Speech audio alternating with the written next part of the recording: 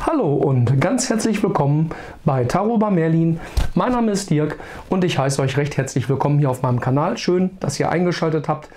Ja, es äh, geht heute um eure allgemeinen Legungen, wo wir einfach mal wieder schauen, wie die Energien bei euch so aussehen. Das heißt Liebe, Beruf und was die Karten so zeigen werden. Bevor ich das natürlich tue, wie immer die astrologischen Updates für diese Woche, für die aktuelle Zeit.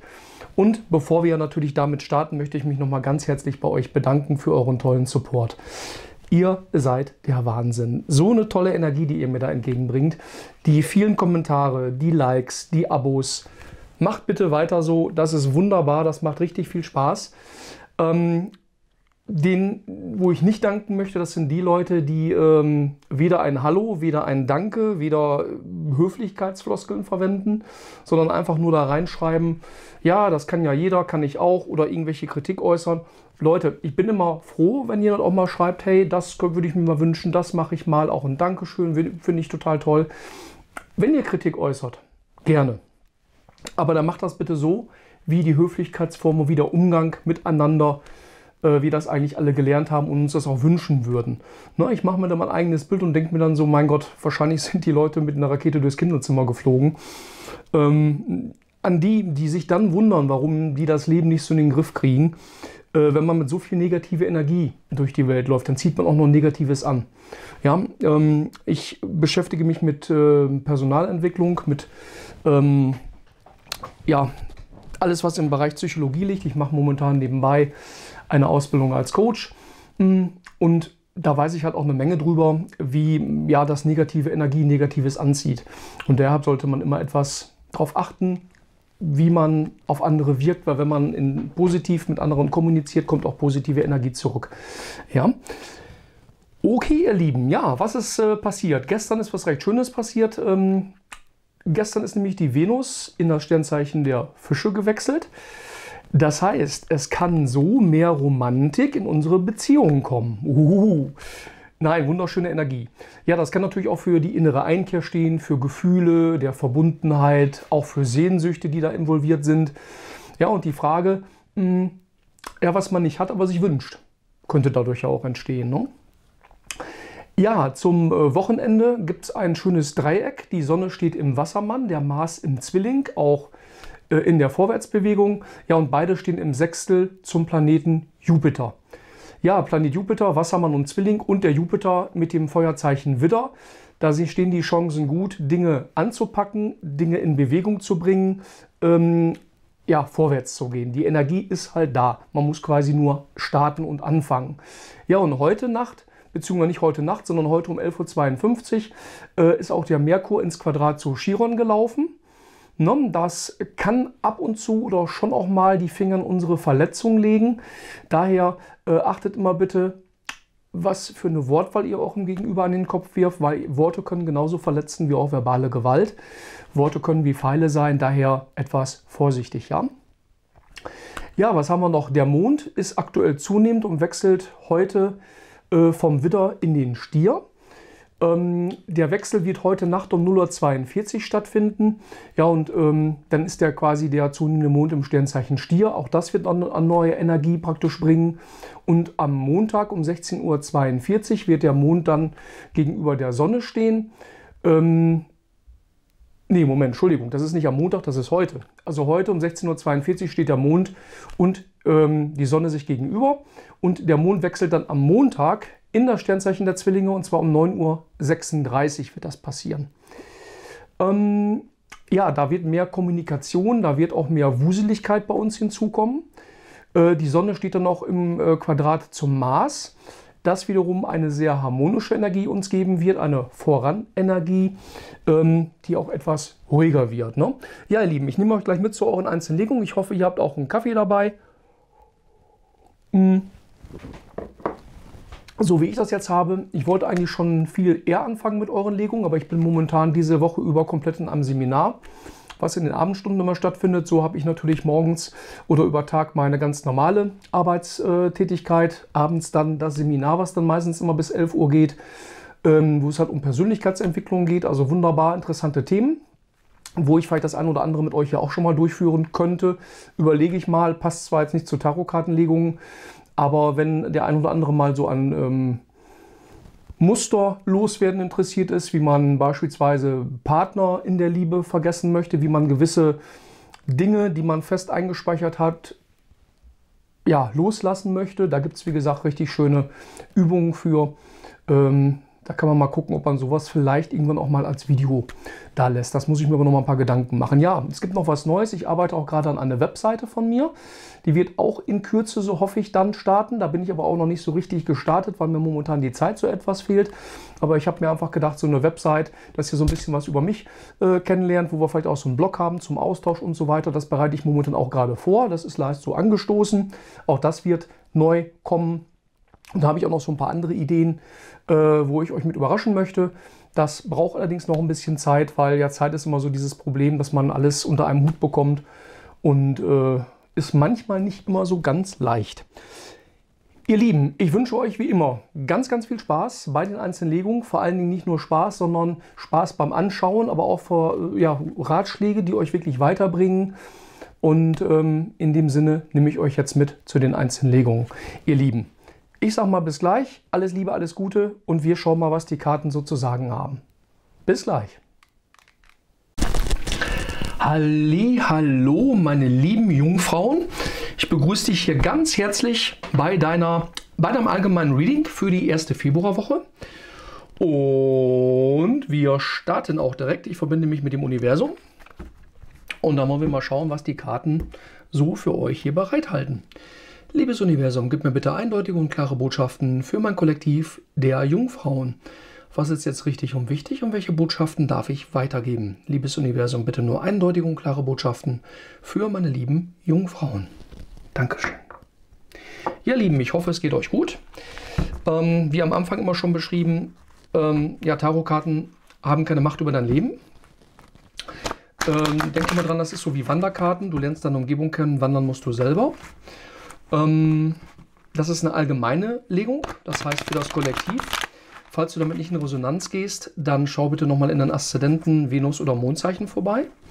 Denke mal dran, ich kenne dich nicht persönlich, das ist eine allgemeine Legung, daher auch bitte nur annehmen, wenn das deine Legung auch ist.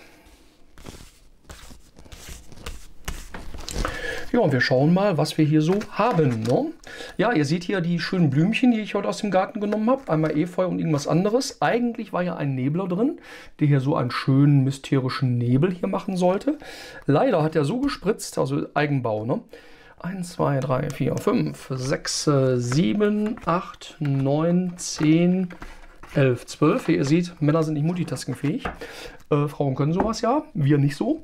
Ja, ähm, und das hat aber so gespritzt, dass ich hier alles nass hatte. Und da habe ich mir irgendwann gesagt, okay, hau den Nebel raus und die Blümchen bleiben stehen. Also ich möchte euch für euch immer ein bisschen dekomäßig, ein bisschen Special Effects hier quasi machen, damit das alles auch schön für euch aussieht und ihr Spaß in so einer, ja, das Spaß habt, es auch anzuschauen. Ne? Ja, okay. Und ich habe auch ganz viele neue äh, Steine bekommen, also Steine in dem Sinne Listen, wenn zum Beispiel hier mal so ein Aurastein seht, ihr könnt vielleicht sehen, dass der sehr schön leuchtet. Das sind so Aurasteine, geben wunderschöne Energien ab. Wir haben hier einen Lapis Lazuli, das ist auch ein wunderschöner Energiestein, der meinem Sternzeichen nahe kommt. Wir haben hier auch was schönes Glitzerndes. Auch den finde ich wunderschön. Also ihr seht, wir haben hier eine sehr schöne Energie hier und deshalb wollen wir mal schauen, was wir hier denn so haben, wie es bei euch momentan so aussieht, ihr lieben Jungfrauen. Ja, wir fangen an mit der Königin der Stäbe. Ähm, hier geht es darum, um jemand, der sehr aufbrausend zwischendurch ist, sehr willensstark. Da hast du es mit einem Schützenlöwen oder Widder zu tun. Ähm, ja, du konzentrierst dich momentan auf das Wesentliche. Dein Ziel ist es, dein Leben wieder in die eigene Hand zu nehmen, was dir momentan noch nicht so ganz gelingt. Und wir schauen mal, warum das so ist. Ja, wir haben das Königspaar sogar hier auf dem Deck liegen. Das ist nämlich der König der Stäbe, das Pardor dazu, das männliche Pardor dazu. Ja, der König der Stäbe ist, eine, ist ähnlich, ist natürlich auch Feuerzeichen, Schütze, Löwe, Widder. Natürlich eine Reife, eine Dynamik, Macht, Selbstvertrauen, Lebensfreude. Das ist erstmal so die Überschrift bei den Menschen. Äh, der hat auch die Fähigkeit, die eigenen Ideen durchzusetzen. Ja, genau wie äh, die äh, Königin Ideen hat. Er ist aber noch stärker im Durchsetzen quasi. Das ist auch jemand, der Lust nach Abenteuer hat, der aber auch ohne Umschweife zur Sache kommt. Das ist jemand mit einer hohen Tatenkraft, der seinen Weg geradeaus geht. Der quatscht aber nicht lange um den heißen Brei rum, sondern der sagt dir quasi, äh, so, diese Richtung gehen wir. Ja, und hier geht es um eine Entscheidung. Das sind nämlich drei der Stäbe. Und du hast dich damit beschäftigt, in der letzten Zeit eine Entscheidung zu treffen. Und die Entscheidung hast du aber auch schon getroffen.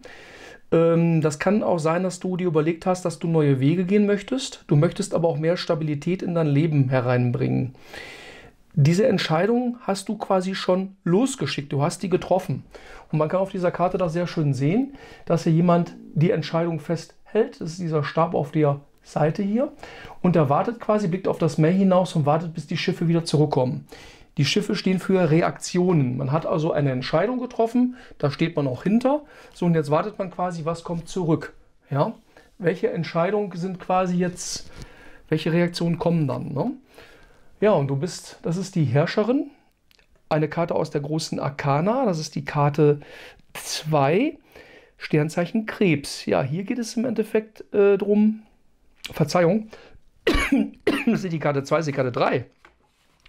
Und äh, dem Sternzeichen Stier, so war es, so richtig ist es rum. Ja, hier ist das Venus-Symbol einmal drauf. Das heißt, du bist hier in der absoluten Herrschermacht. Möglicherweise äh, wenn du eine Frau bist, geht es bei euch um das Thema Schwangerschaft. Diese Karte ist sehr positiv dafür, weil diese Frau auch sehr fruchtbar ist. Ja? Ähm, du hast momentan nach wie vor das Thema Neubeginn bei dir auf der Agenda. Es wird auch wahr werden, es wird auch in Ordnung kommen, nur es wird noch besser, als du jetzt denkst. Weil es ist eine sehr, sehr warme Karte, die du hier hast. Ja? Äh, hier geht es auch um kreative Phasen auch um die nötige Gelassenheit. Du bist hier in der absoluten Herrschermacht, in der weiblichen Herrschermacht. Und das, was du hier machen möchtest, du möchtest wieder in Vertrauen, du möchtest wieder in den Frieden gehen, das wird hier definitiv auch passieren. Ja? Und wir haben hier den Mond. Ja, der Mond ist eine Karte aus der großen Arkana. Man sagt, ich sage immer, das ist der große Vernebler. Ähm, die 18. Karte, dem Sternzeichen Fische zugeordnet. Es geht hier um deine inneren Ängste. Möglicherweise hast du hier eher Ahnungen, Visionen, die dich blockieren. Ja, das geht hier um dein Unterbewusstsein, äh, was dich triggert. Ähm, auch um verführerische Illusionen, wo du einfach momentan eine gewisse Angst aufbaust. Man könnte auch sagen, eine Blockade. Ja, ähm, das heißt, du hast hier bei dieser Karte auch Entscheidungen zu treffen. Aber hier kann ich dir nur den Rat geben, treff jetzt bitte keine Entscheidungen, weil dir fehlen hier Informationen. Solange du die Informationen nicht hast, würden alle Entscheidungen, die du hier treffen würdest, möglicherweise dich sehr, sehr ärgern, weil diese Entscheidungen in dem Moment falsch sind. Die Entscheidungen sind deswegen falsch, weil du ja noch nicht alle Informationen zusammen hast. Und deswegen bitte ich dich, treff jetzt zu diesem Zeitpunkt keine Entscheidung. Ja? Und wir haben hier den Tod. Der Tod ist die äh, Karte 13 in der großen Arkana. Ähm, bei dem Tod ist das eine Karte, wo es definitiv um einen Neuanfang geht, dem Sternzeichen Skorpion zugeordnet. Ähm, es wird bei dir in deiner Beziehung oder in deinem Leben irgendetwas beendet. Äh, es kann auch das Thema Loslassen sein, was momentan schwierig für dich ist. Mm. Ja, das Vergangene loslassen wäre so ein Thema nochmal. Ne? Oder auch besser gesagt, das Alte hinter dir lassen. Das Alte hinter dir lassen muss auch nicht immer eine Person sein, sondern es kann auch quasi deine Gedankenstruktur sein. In der Liebe kann es auch mal sein, dass dieser Tod dafür steht, für eine Pause einlegen. Muss nicht immer ein Neuanfang sein. In der Regel ist das bei dem Tod so. Äh, kann aber auch bei dir sein, dass du momentan eine Pause einlegen möchtest und momentan nicht weißt, ob ihr diese Beziehung weiterführen möchtet oder nicht. Ja, 10 der Kelche. Ne? Wenn man hier mal so schaut, da sind zwei sehr, sehr zufrieden in einer völligen Harmonie und das ist das, wo du hin möchtest. Das ist dein Ziel. Ja? Ähm, ist die höchste Trumpfkarte im, in der, äh, im Tarot. Äh, steht für einen Fisch, Skorpion oder Krebs. Hier geht es in die absolute Zufriedenheit. In der Bindung der Familie, Glück, wunschlose Zufriedenheit. Das, das ist dein Ziel, da möchtest du hin. Und es wird dich in Kürze auch eine Nachricht erreichen. Das sind acht der Stäbe. Äh, ist, die steht für starke neue Gefühle. Und plötzlich siehst du jemanden wieder, den du lange nicht gesehen hast. Man könnte auch sagen, es wird eine positive Überraschung in dein Leben ein, äh, hereinkommen, die auch noch im Januar, äh, im Januar sage ich schon, im Anfang Februar passieren wird, wo du aber jetzt noch nicht mit rechnest. Man könnte auch sagen, du hast diese Sache noch nicht auf dem Schirm. Es wird aber passieren und zwar relativ schnell. Wir haben hier den Pagen der Kelche. Ja, der Page der Kelche, das ist immer eine sehr unreife, schüchterne, unklare Energie. Ähm, möglicherweise geht es hier um Emotionen, die neu in dein Leben aufgetaucht sind, wo du momentan etwas Schwierigkeiten hast. Wie gehst du damit um? Kann auch sein, dass du vielleicht schon jemanden kennengelernt hast, du aber jetzt nicht weißt, hm, ist es der richtige, äh, wie gehe ich mit der einen oder anderen Situation um. Hier ist es so, dass du auf deine inneren Stimme hören kannst. Du kannst deiner inneren Stimme vertrauen. Ja, hier siehst du nämlich dieses kleine Fischlein. Ne, mach die Karte scharf, sonst hole ich Tabasco. Ähm, die, äh, der Fisch hier, der flüstert dir was ins Ohr und der Fisch symbolisiert deine innere Stimme. Hör auf deine innere Stimme. Das hast du in der Vergangenheit, ja, ich sag mal, verlernt. Oder du warst dir nicht sicher. Und du kannst aber ruhig auf deine innere Stimme hören. Die wird dich in dem Moment auch weiterbringen. Weil dein Thema sind Gefühle. Die Kelche stehen immer für Gefühle und hier haben wir vier der Kelche. Das Leben bietet dir hier eine Chance, hält dir den Kelch hin, du lehnst es aber ab. Warum lehnst du es ab? Das schauen wir uns gleich nochmal an. Du kannst hier ruhig zugreifen, kannst du auch jetzt machen. Du hast es hier mit einem Fisch, Skorpion oder Krebs zu tun. Ähm, möglicherweise lehnst du das ab, weil du für etwas Angst hast, weil du enttäuscht worden bist. Ne? Und ähm, da bist du momentan ein gebranntes Kind, kann man auch sagen. Nur wenn du das jetzt nicht annimmst, dann wirst du in eine Seelenmangel, also ist die Seelenmangelkarte, ne? dann wirst du in einer möglicherweise in einer äh, größeren Krise kommen. Du fühlst dich ausgeschlossen, du fühlst dich nicht mehr geliebt, du fühlst dich nicht mehr im Fluss. Ja? Da brauchst du aber keine Angst haben, weil das wird eine kurzfristige Geschichte sein, weil du hast ja auch die Kraft. Die Kraft ist auch eine sehr schöne Energie. Das ist nämlich eine Karte aus der großen Arkana, die Karte 6, dem Löwen zugeordnet. Äh, hier geht es um Leidenschaft, um Mut und vor allen Dingen auch das Risiko, was du hier noch als Risiko bewertest, zu gehen, weil das ist händelbar. Die Göttin hier schließt ja dem Löwen das Maul mit der Hand. Solltet ihr jetzt im Zoo nicht unbedingt nachmachen, habt ihr vielleicht eine Hand weniger.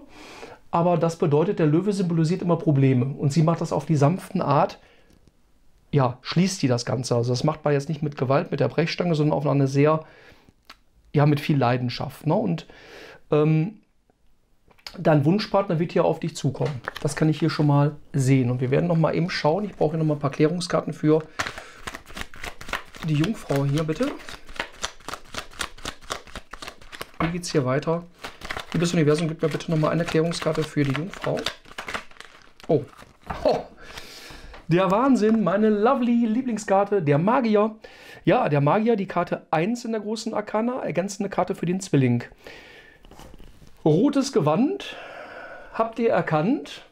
Ja, das rote Gewand steht immer für Leidenschaft, für Kraft, Ausdauer.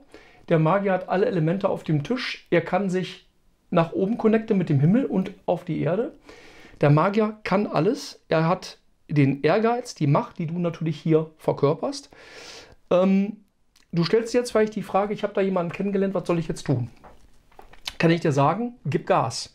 Es ist jetzt die richtige Zeit und du wirst, es wird gut werden. Du hast Abvertrauen zu dir, du wirst hier die Kirsche auf der Torte mitbekommen. Wenn du keine Kirsche magst, nimm was anderes. Wir schauen hier nochmal weiter. Ihr Lieben, ich weiß jetzt nicht, bei welcher Legung der Magier gekommen ist. Und auch so eine ähnliche Legung. Müsst ihr mal schauen, ich weiß es jetzt wirklich nicht mehr. Ja, für was sollst du aufpassen? Die Illusionskarte, ne? Trenn den, Spreu, den äh, Spreu vom Weizen trennen, sagt mir die Karte. Weil hier haben wir eine Illusionskarte. Es werden hier viele Versprechen gemacht. Äh, bau bitte nicht auf Sand. Weil ich kann dir natürlich viel versprechen und nichts halten. Das hilft dir aber nicht. Und vielleicht hast du hier so einen Luftikus, der hier auf dem Weg zu dir ist. kann männlich-weiblich sein, der dir irgendwas verspricht, was er aber gar nicht halten kann. Kann Fisch, Skorpion, äh, Fisch, oder Krebs sein. Vorsicht an der Bahnsteigkante, sage ich euch. Da ist irgendwas im Argen. Und wir werden noch mal schauen. Ich noch eine Klärungskarte für euch, lieben Jungfrauen, hier organisiert bekommen. Ja, da ist eine. Ja, da sind ja zwei umgedreht. Muss ich nur mal die hier rausfischen. Wir haben zwei Stück noch. Wir haben einmal den Pagen und wir haben die Gerechtigkeit. Ja, der Page, der Stäbe, Element Feuer, Schütze, Löwe, Widder. Hm. Ja, steht für neue Ideen, Impulse, die auf dich zukommen werden. Äh, es gibt hier aber auch gute Nachrichten, die in dein Leben treten werden. Ne? Steht auch für Flirts. Hier kann ich sagen, bei euch beiden wird die Chemie stimmen. Stimmt. Aber das ist erstmal unverbindlich. Das ist jetzt nicht hier kommt die große Liebe und es wird hier wild geknuscht, alles ist super. Es ist ein Beginn da, ja, aber schauen, wie es weitergeht. Und hier haben wir auch die Gerechtigkeit. Das ist die Karte 13 in der großen Arkana, Sternzeichen Waage zugeordnet. Ja, ihr seht ja, die Justitia steht hier mit der Waage in der linken Hand. Sie bewertet immer von Herzen. Die Waage ist ja in der linken Hand. Ne? Die und sie hat aber auch ein scharfes Schwert in der rechten. Das soll bedeuten, alte Zöpfe müssen hier abgeschnitten werden. Du sollst hier gesunde Grenzen für dich setzen. Das ist eine sehr stabile Karte. Man könnte auch sagen, hat was mit Karma zu tun. Du kriegst das oder gibst jemandem das, was ihm zusteht und auch mal selbstkritisch prüfen. No? Bist du wirklich im Leben unterwegs, so wie du dir es wünschen würdest, wie man auch mit dir umgeht? Das ist halt immer wichtig. Wir wollen noch mal schnell eine Astrokarte für euch ziehen, bevor meine Stimme gleich ganz weg ist. Ähm, mal gucken, was das Astro-Deck hier für euch sagt. Haus, fünftes Haus, Freude und Spiel. Kuckuck, hier ist das fünfte Haus, Freude und Spiel. Ich hoffe, du kannst es erkennen. Ja, ihr Lieben, ihr seht hier eine Frau drauf, die ja mit ihren Ketten spielt, die leidenschaftlich darin vertieft ist. Ähm, es geht hier um, ja, um Selbstausdruck, auch um Leidenschaft und Bestätigung des inneren Selbstes. Die Frage, die du hier stellen kannst, hast du genug Spaß und Vergnügen im Leben? Und kannst du dich kreativ ausdrücken? Erlaubst du in deinem Leben leidenschaftlich zu leben? Ja. Die Frage kannst du dir gerne selber beantworten und zum Abschluss auch noch mal eine Karte vom Merlin Orakel.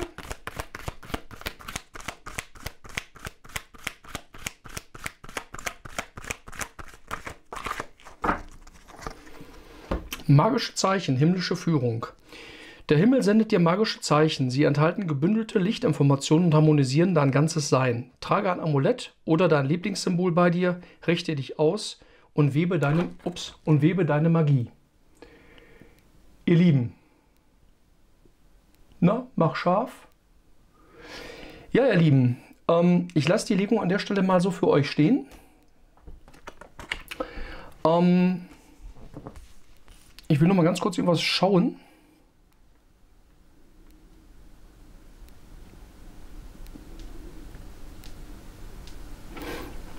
Ich gucke nämlich immer nach Engelszahlen. Wir haben nämlich hier die 3, 3. Dann haben aber die 4. 18. Ne, kann ich jetzt hier so nicht erkennen, dass man noch versteckte Informationen noch für euch hat, weil das Universum ähm, dis äh, diskutiert, wollte ich sagen, spricht mit uns über Zahlen, über Symbole. Und wenn man zum Beispiel jetzt gerade schaut, ne, auf meine Uhr ist jetzt 19.55 Uhr, manchmal guckt man aber auf so eine Uhr, es ist 11.11 Uhr. .11, ja? Oder man hat hier, wie hier 3.3, wenn jetzt noch eine 3 dabei wäre, könnte man nach der Engelzahl 333 schauen. Sehe ich jetzt hier aber nicht. Ihr Lieben, ich hoffe, die Ligung hat euch gefallen. Wenn das so ist, freue ich mich wie immer über einen Like von euch. Solltest du mir ein nettes Kommentar hinterlassen, freue ich mich immer wie Bolle. Und ich freue mich natürlich auch wahnsinnig, wenn du meinen Kanal abonnierst, wenn du es nicht schon getan hast. Mir hilft das ganz, ganz viel.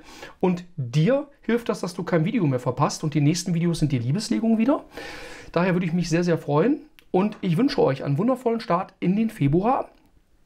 Und alles Liebe, alles Gute. Ich sage mal auf Wiedersehen. Bis bald. Ciao, ciao.